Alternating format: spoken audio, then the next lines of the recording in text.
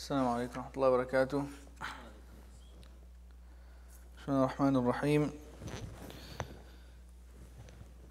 Yesterday was a little bit lengthy topic. Today is actually a nice and short one. Anas bin Malik radiallahu an, he says that he was walking with uh, the Prophet sallallahu alaihi wasallam وَعَلَيْهِ بُرْدٌ نَجْرَانِيٌّ and he had a shawl, a Najrani shawl on his, uh, around his neck. Najran is a, a region, uh, you could say, close to modern day Yemen. Okay. So that's where the shawl was from. فَأَدْرَكَهُ أَعْرَابِيٌّ a, a Bedouin came and he grabbed onto the shawl فَجَذَبَهُ جَذْبَةً شَدِيدًا and he pulled it, he yanked it. Yanked it would be the right word to use. Like he yanked it off of, you know, off of his neck. حتى نظرت إلى صفحة عاتق النبي صلى الله عليه وسلم قد أثرت به حاشية الرداء من شدة جذبته. That because he yanked it so hard, Anas bin Malik radiallahu anh says that I saw the shawls, you know, the border leaving a mark on the neck, the beloved neck of the Prophet sallallahu alaihi wasallam, due to how hard he pulled it. Then the Arabi, he says, you know, he, he asks the Prophet ﷺ, he says, give me something from the wealth of Allah which is in your possession. So at first he yanked the shawl off of him and then he's asking him for something. I'll finish the narration and then we'll talk about it a little bit. SubhanAllah, the Prophet ﷺ, he turns towards him and the narration says, um, فَضَحِكَ and he laughed or he smiled. The Prophet ﷺ is smiling and then ordered that the Bedouin be given something. This hadith is in Sahih Muslim. ثم أمر له بعطاء. Subhanallah. Think of yourself walking down the street or on a busy, busy sidewalk and someone you know bumps their shoulder into you.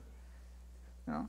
Or you're, in, you're driving in the car and someone is in a little bit of a hurry and he cuts you off and then goes, takes the exit.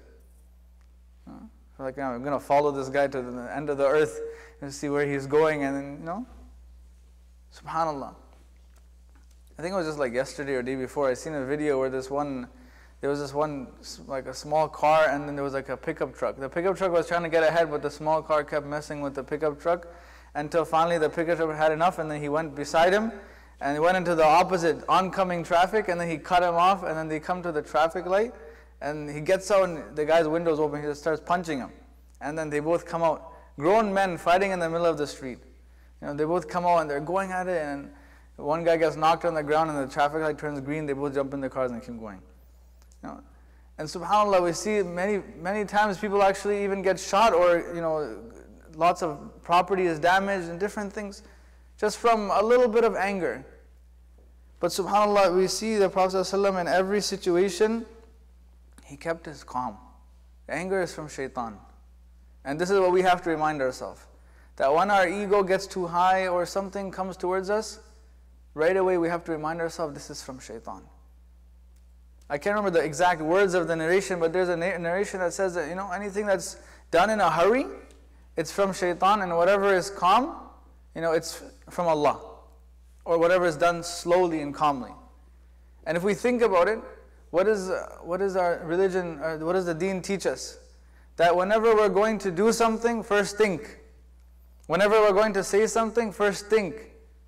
You know, who, who was a Sahabi? I believe it was Abu Bakr or one of the, one of the Khulafa al-Rashidin. He would keep a small pebble under his tongue. So whenever he was going to speak, the tongue would hit the pebble first, and it's like a bell that reminds him, am I going to say something good right now, or am I going to say something bad? Because our habit is that, you know, we speak first, think later. But once it's done, it's done, then it's too late.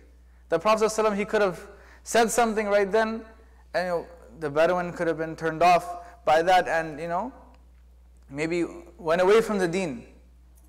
And many times, even our approach for teaching deen, this is actually a vast topic, and I'm just shooting different things, you know, from, from each topic. But one of our approaches of teaching deen is usually very harsh and abrupt. And because of that, instead of people learning the deen, they go away from the deen. May Allah subhanahu wa ta'ala forgive us and uh, make us from amongst those who preach the deen properly and make us not from amongst those who make people go away from the deen because this is very scary. On the day of Qiyamah, a person comes and says, you know, oh Allah, I, wanted to read Quran, but this teacher was you know, beating me so bad, I, I could not. I, I lost the love of the Quran in my heart. What can I do? That teacher is going to be brought on the day of Qiyamah. He's going to he's going to have to answer. And we know what happens back home, subhanAllah, the stories, many, I'm sure many of us have even witnessed those ourselves.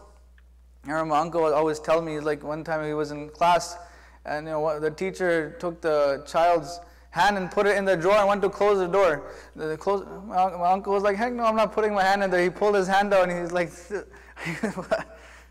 is this the way to teach the Quran? The words of Allah subhanahu wa ta'ala? So anyways, this is a vast topic, but what we see is the reaction of Rasulullah. The first reaction is a welcoming, loving, compassionate reaction. Smiled, laughed. And then he says, you know, give him what he wants. He doesn't know better. That's the way to teach. May Allah subhanahu wa ta'ala allow us to teach the way deen is supposed to be taught and also react and deal with everyone the way the Prophet sallallahu alaihi wasallam did. If we, do, if we do this, we can become the best of people.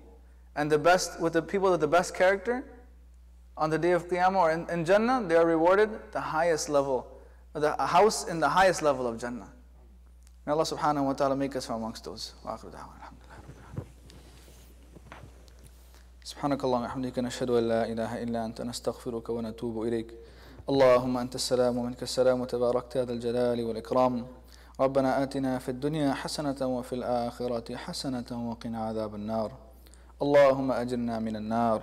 اللهم أجرنا من خزي الدنيا وعذاب الآخرة. اللهم قنا عذاب القبر وقنا عذاب الحشر وقنا فتنة المسيح الدجال.